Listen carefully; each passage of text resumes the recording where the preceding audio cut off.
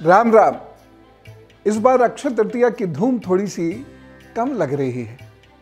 लेकिन अक्षय तृतीया तो अक्षय तृतीया है। इसका महत्व थोड़ी कम हो गया। और इसमें आपको क्या करना है वो तो वहीं का वहीं है।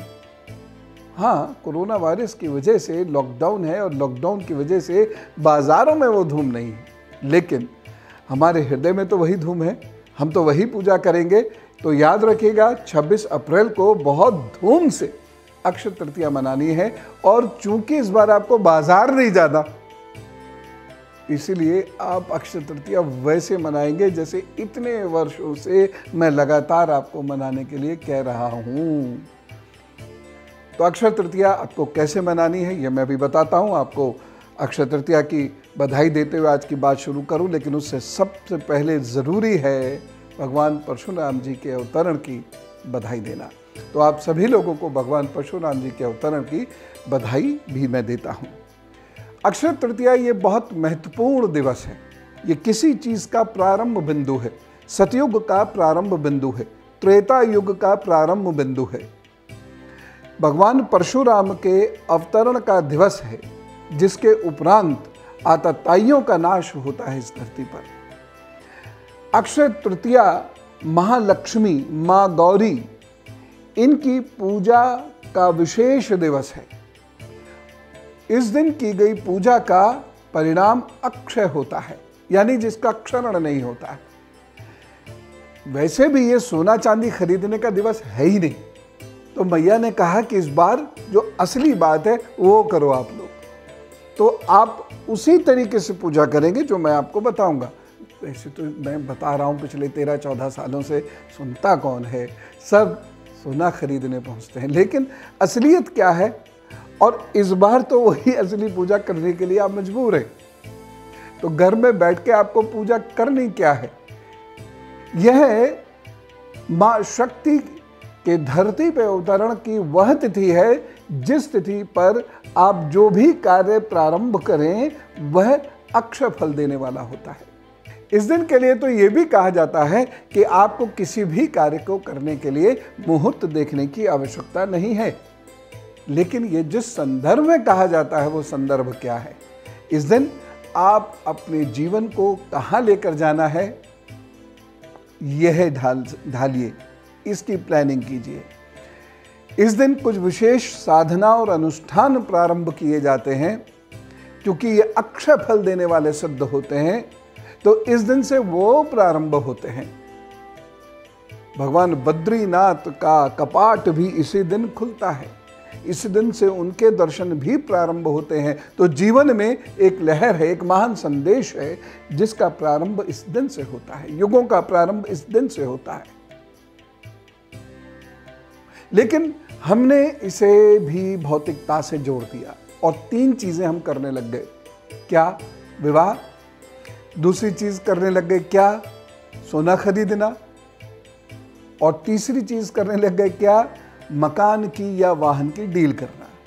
देखिए, हमेशा एक चीज़ याद रखिएगा, यदि आप पूजा पाठ में रुचि रखते हैं तो कि कुछ दिन विशेष आध्यात्मिक रीति के लिए, आध्यात्मिक नीति के लिए होते हैं। और कुछ दिन विशेष भौतिकता और सांसारिकता के लिए होते हैं।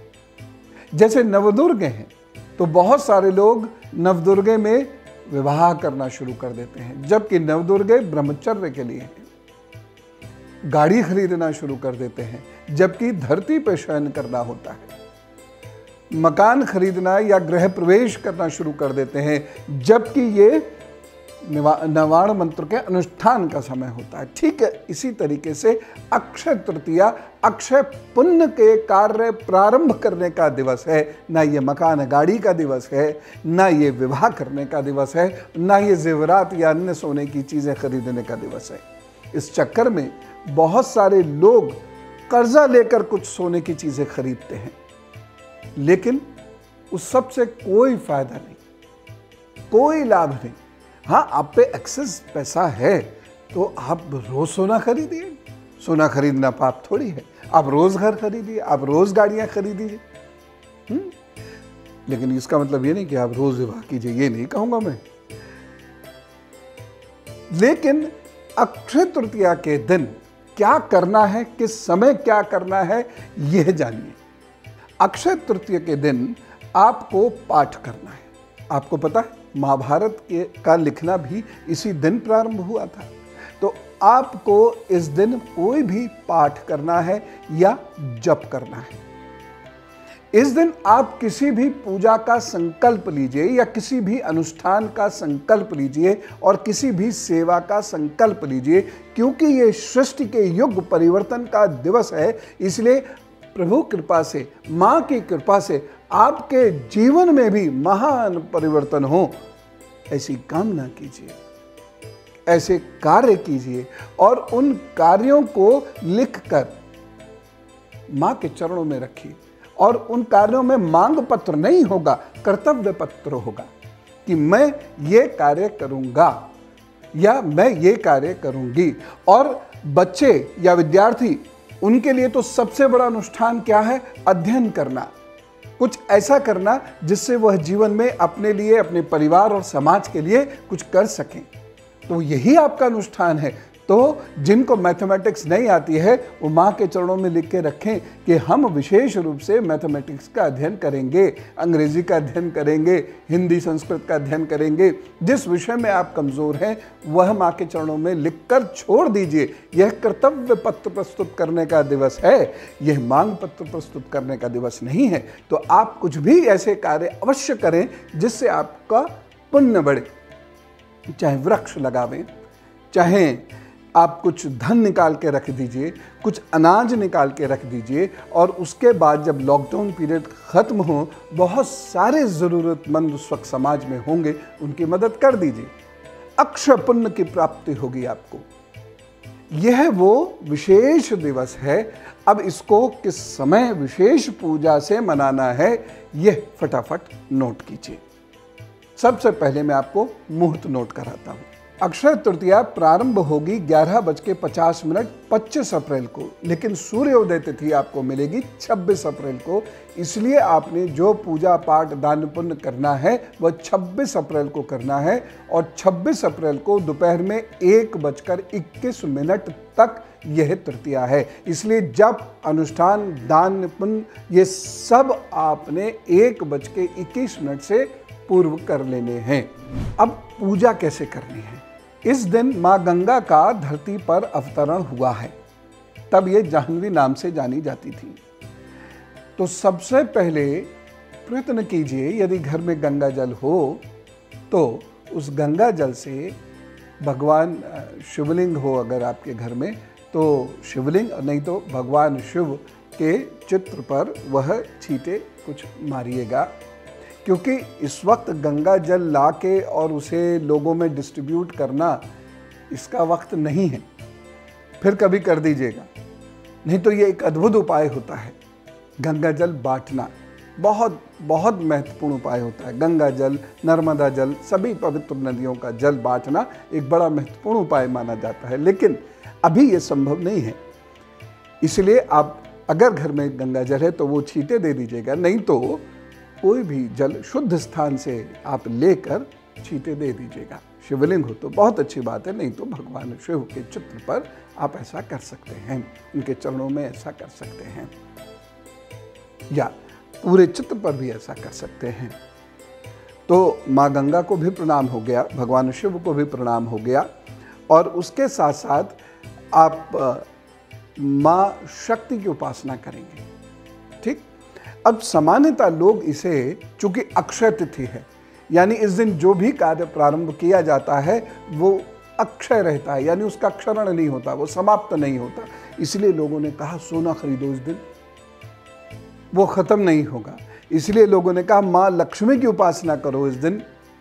पैसा ही पैसा, बरसना आज से ही शुरू हो जाएगा और बरसता ही रहेगा, बरसता ही रहेगा। घर छोटा पड़ जाएगा, दूसरा घर लेना पड़ेगा। बोरे कम पड़ जाएँगे। ऐसा हम सोचते हैं। मत सोचिए। भगवती को प्रसन्न कीजिए। अगर वह प्रसन्न है तो सब वैसे ही आ जाएगा। तो माँ लक्ष्मी आदि की उपासना मर्ज़ी है आपकी, लेकिन इस दिन श्री सूक्तम का पाठ अगर आप करते हैं तो बड़ा अच्छा रहता है। माँ बगलामुखी की उपासना करते हैं तो बड़ा अच्छा रहता है। माँ सरस्वती की उपासना करते हैं तो बड़ा अच्छा रहता है। माँ भुवनेश्वरी की उपासना करते हैं तो बड़ा अच्छा रहता है। माँ काली की उपासना करते हैं तो बड़ा अच्छा रहता है। और सब मिलकर तो नवाण मंत्र में आए गए। ओम एम ह्रीम क्लीं, नमश्चंडिकाय का जप कीजिए, माँ दुर्गा की उपासना कीजिए। इसमें तो समस्त महाविद्याएँ और नवरूप ही हैं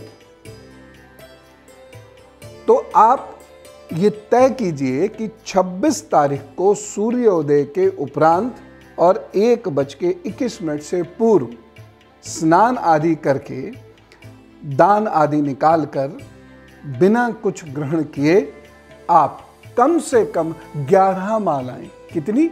11 मालाएँ आप भगवती के चरणों में बैठकर करेंगे। ऐम ह्रीम क्लीं नमश्चंडिकाय आप ज़मीन पर नहीं बैठ सकते, कुर्सी पर बैठ जाइएगा। लेकिन आराम से बैठकर पूरी एकाग्रता और चिंतन के साथ, माँ भगवती के चिंतन में रत होकर आप ये कीजिएगा। तो आपने क्या किया हुआ अभी तक? स्नान किया, दान किया, फिर भगवान शिव की पूजा करी। गंगा जल हो तो बहुत अच्छी बात है, नहीं हो तब भी ठीक है। तिलक आदि अर्पित कीजिए भगवान शिव को और उसके बाद माँ का तिलक वंदन करके और जप कीजिए। सिर्फ़ जप कीजिए। अब बाकी बहुत सारी चीज़ों में मत उलझिए। जप कीजिए। उनके पास बैठ जाइए जाकर और जप कीजिए। उनके जिस स्वरूप का जप करना है कीजिए, नहीं तो नवाण मंत्र से जप कीजिए। एक बज के इक्कीस मिनट तक ये कर लीजिए। उसके बाद फिर अन्न जल ग्रहण कीजिएगा। या सुबह ये सारे काम तो आप सूर्योदय के बाद एक से डेढ़ घंटे के भीतर ही निपटा सकते हैं। उसके बाद फिर अन्न जल ग्रहण कीजिएगा। बहुत दिनों से अच्छे अच्छे कपड़े नहीं पहने होंगे ना? पहन लीजिएगा। अच्छे अच्छे कपड़े पहनिएगा। एक दूसरे को कुछ अच्छा अच्छा बना के खिलाइएगा। प्रसाद रूप में कुछ कुछ बना के खिलाइएगा। अच्छी अच्छी बातें कीजिएगा। और इस दिन आपको क्या करना है अपने जीवन में बलि बनने के लिए? वह कीजिएगा। किसी के लिए विशेष प्रार्थनाएँ भी इस दिन आप कर सकते हैं। जैसे कोई ठीक हो जाए, कोई अच्छा हो जाए या बच्चे अच्छी उन्नति करें, जो भी आपने करना है, जिस भी अपने के लिए आप कुछ भगवती से कहना चाहते हो, सो कह दीजिए। इस तरीके से इस बार जो वास्तविकता है अक्षय तृतीया के पीछे, उस वास्तविकता से मनाइए। और भगवान परशुराम जी का भी तिलक वंदन इस दिन अवश्य कीजिएगा। ठीक? एक काम अब आपने और करना है। जो आप दान देंगे, अगर आपके घर मटका हो, वैसे तो मिट्टी का मटका ही सर्वश्रेष्ठ होता है, उसमें अनाज भर कर दान किया जाता है, ऊपर तक भर कर चाहे वो मटका छोटा हो, अगर आप पे धन नहीं है तो मटका छोटा कर लें, लेकिन ऊपर तक भर कर दान किया जाता है। ये दिन खरीदने का नहीं है, ये दान करने का दिन है। लेकिन अगर मटका नहीं है तो आप किसी कपड़े में उतना सामान निकाल कर अच्छे से बाँध कर और मैया के पास में रख दीजिएगा। जब समय होगा तो दान कर दीजिए। ठीक? जो लोग कर्ज में डूबे हुए हैं या बहुत परेशानियों में हैं, देखिए आर्थिक संकट थोड़ा सा तो बढ़ेगा। ठीक है? तो वो लोग श्री सूक्त का पाठ कर सकते हैं। लेकिन ये तीन बार करना होता है। एक साथ बैठकर। जिन लोगों को प्रतिष्ठा का संकट है, या अन्य कोई इस प्रकार का संकट है, या घर में कुछ ऐसी परेशानियों का संकट है, पिता की ओर से संकट है, या आपको नौकरी की ओर से संकट है तो आदित्य हृदय स्त्रोत का पाठ सूर्योदय होने के बाद सूर्य की ओर मुँह करके तीन बार लगातार करना है। बहुत सारे लोगों की सेहत खराब होगी। तो वह लोग इस दिन नवाण मंत्र का जप करके, महामृत्युंजय का जप चाहे ग्यारह ही बार कर लीजिएगा कर लीजिएगा और भगवान शिव के चरणों में बैठकर ये कामना कीजिएगा, आप स्वस्थ हों। तो इस प्रकार अनेक अनेक चीज़ें आप कर सकते हैं। पिछली बार किसी व्यक्ति ने, बल्कि उससे भी पिछली बार से मतलब दो तीन वर्षों से वह मुझसे पूछते आ रहे हैं, आप क्या करते हैं अक्षय तृतीया पर?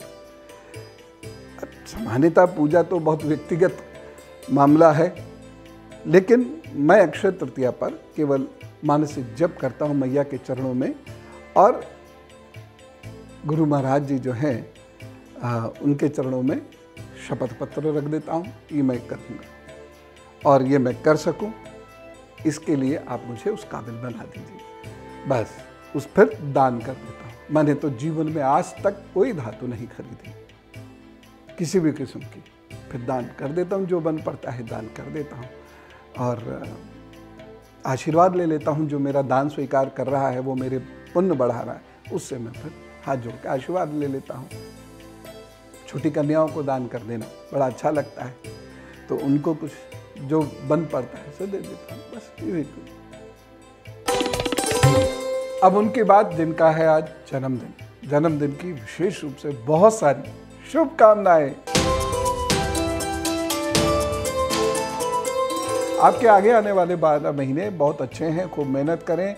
आपको विशेष लाभ हो सकता है। लेकिन दो तीन बातों का बहुत ख्याल रखना होगा। पहली चीज़, जल्दबाजी में गलत डिसीज़न लेने से आर्थिक नुकसान उठाएँगे। दूसरी चीज़ ये है, आपके कुछ ख़ास रिश्ते, उसमें मित्र भी आते हैं, रिश्तेदार भी आते हैं, ये आपसे खफा हो सकते हैं, जिसकी वजह से आपको काफ़ी दुख उठाना पड़ेगा। और तीसरी चीज़ आप किसी के बारे में कुछ ऐसी बातें कह देंगे जिसकी वजह से सामाजिक मानहानि आपकी हो सकती है।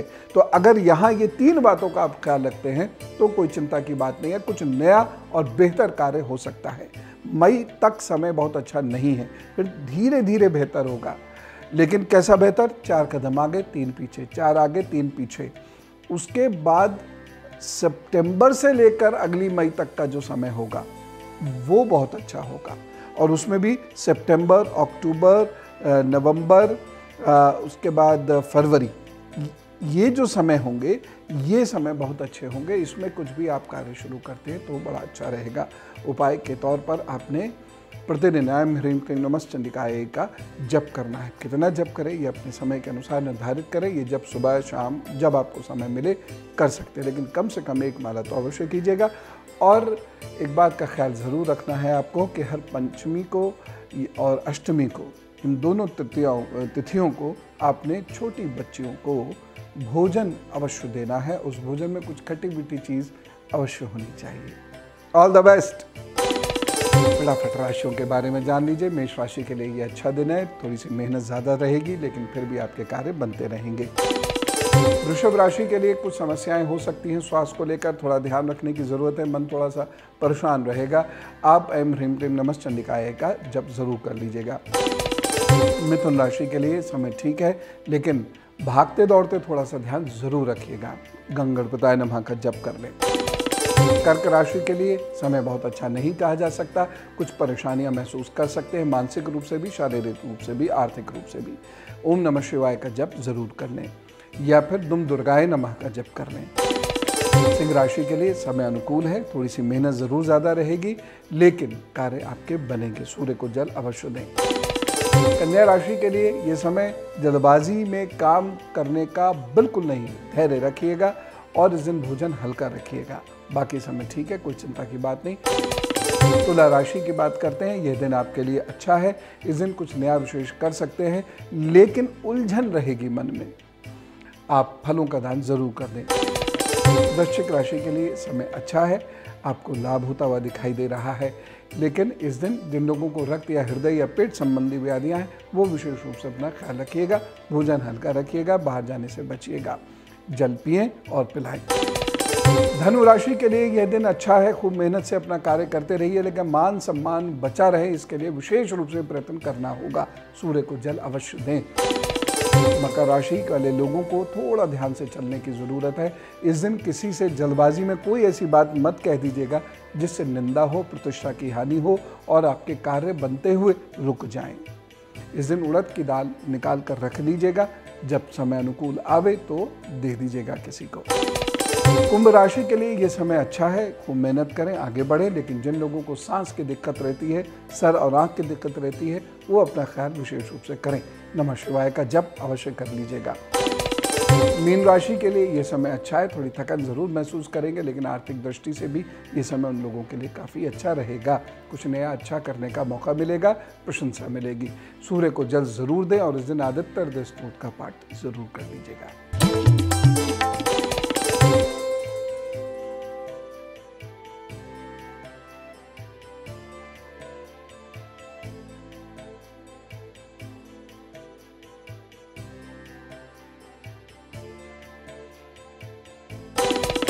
तो आज खूब सारी बातचीत हो गई, जो मैंने आपको बताया, उसका ख्याल ज़रूर रखिएगा और अक्षय तृतीया की तैयारी अभी से करनी शुरू कर दीजिएगा। चलता हूँ। राम राम, नमस्कार। और हाँ एक बात का ध्यान तो ज़रूर रखिएगा। रामायण देख रहे हैं ना आप? बड़ी मुश्किल से, मेहनत से तैयार कर रहे हैं। आप देखेंगे मेहनत सफल हो जाएगी। और आप सीख लेंगे तो हमें भी अक्षय पुण्य मिल जाएगा। राम राम, नमस्कार। भारत माता की जय। आप सभी लोग प्रभु श्री राम जी के बारे में गहराई से जानना चाहते होंगे। आप ये जानना चाहते होंगे कि उनका जन्म कब हुआ। आप ये जानना चाहते होंगे कि वो पढ़े लिखे थे कि नहीं थे। आप ये ज़रूर जानना चाहते होंगे कि उनको क्रोध आता था कि नहीं आता था। आप ये भी जानना चाहते होंगे कि उनका स्वयंवर हुआ था कि नहीं हुआ था। क्या आपको पता है उस धनुष का रहस्य? क्या आपको ये जानने की जिज्ञासा है कि सीता मैया क्या दो थी? हनुमान जी के बारे में भी आप जानना चाहते होंगे। क्या उनकी बहुत लंबी पूछ थी? क्या हनुमान जी उड़ सकते थे? अब यह भी ज़रूर जानना चाहते होंगे कि क्या रावण वास्तव में विद्वान था? क्या श्री राम जी ने रावण को पुरोहित बनाया था? क्या लक्ष्मण जी को रावण के पास ज्ञान लेने वास्तव में भेजा गया था? अब ये जानना नहीं चाहते क्या राम राज्य कुछ था या नहीं था? अब ये जानना नहीं चाहते कि वो लक्ष्मण रेखा थी कि नहीं थी और थी तो उसका रहस्य क्या था? सीता जी की अग्नि परीक्षा। क्या हुई थी? क्या कोई ऐसा धोबी था जिसने रानी सीता को निकलवा दिया हो? लवकुश के बारे में कोई प्रामाणिक जानकारी है आपके पास? ये बहुत सारे प्रश्न आपके दिमाग में ऐसे होंगे। मैं प्रयत्न करूँगा उन प्रश्नों का उत्तर देने के लिए। ज़रूर देखिएगा। चौदह दिन तक लगातार मेरे YouTube चैनल पर। मेरे राम।